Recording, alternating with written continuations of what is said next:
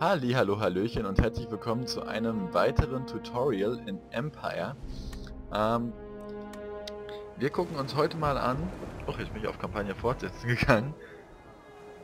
Sorry, wir gucken uns dann nochmal kurz Dänemark an.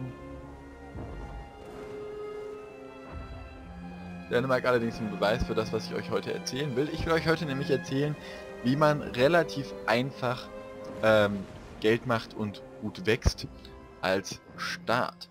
Ähm, das habe ich hier ganz genauso gemacht. Und, ähm, ach, warte, wo wir hier sind, da zeige ich euch gerade das hier einfach gut. Da können wir hier sehen, bei der Politik, die Steuern. Es gibt mehrere Arten Geld zu machen. Man kann auch viel in die, in die Schiffe investieren, kann sich dann die Handelsstandorte holen. Das ist auch durchaus ein probates Mittel. Das Problem ist, dass man da sehr anfällig ist gegenüber anderen Mächten und gerade wenn man dann mit mehreren Mächten Krieg hat, kann es dann eben passieren, dass die einem einfach den Weg abschneiden oder deinen Hafen zerstören. Und selbst wenn sie eine schwächere Armee haben, kann das manchmal passieren. Und dann sitzt er halt auf dem Trockenen und die Flotte ist eben sehr, sehr teuer.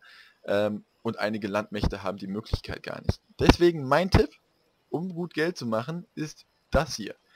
Wenn man die Besteuerung von Anfang an relativ niedrig hält, also ich mache es am Anfang immer so, die Mittelklasse muss bei mir am Anfang immer ein bisschen mehr blechen, aber der Adel ganz niedrig. Das ist ganz, ganz wichtig, weil dann das Wirtschaftswachstum riesig ist. Also das ist ja ein bisschen wie die FDP früher mal gesagt hat.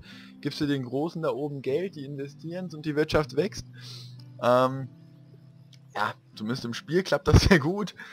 Und ähm, das ist auf jeden Fall ein super Mittel, um Geld zu machen am Anfang. Und also und das Gute daran ist eben, wenn man dann in Krisensituationen kommt, dann hat man noch Luft nach oben. Also dann kann man zur Not, wenn du un unter, unter Attacke bist, dann drehst du hier ein bisschen hoch. Ihr seht, im Normalzustand habe ich hier Steuereinnahmen von 71.000. In einem Notfall könnte ich die jetzt natürlich auch bei einem riesigen Reich auch fast das Doppelte hochschieben, ähm, ohne dass groß was passieren würde. Also das ist eben gut, man hat da dann noch eine gewisse Reserve und die Wirtschaft wächst eben unterm Strich deutlich schneller. Ich habe das früher ganz anders gemacht mit meinen alten Preußen-Kampagnen und so. Ähm, da hat dann die beste Stadt, hat dann am Ende, ach, was weiß ich, 10.000 oder so gebracht. Hier bringt Kopenhagen 22.000. Dann haben wir hier hinten Stockholm, das bringt 31.000. Also, ich denke mal, ihr wisst, worauf ich hinaus will. Hier hinten Madrid bringt, glaube ich, 17, ja genau, 17.900. Lissabon sogar bringt ziemlich viel und einfach tierisch viele Städte, die unheimlich viel Geld bringen, wegen eben diesem guten Wirtschaftswachstum.